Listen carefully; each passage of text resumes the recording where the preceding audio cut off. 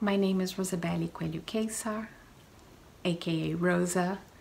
I'm the managing director of the MIT Brazil program at MISTI. A Brazilian slang I love is when you answer beleza when somebody asks, How are you?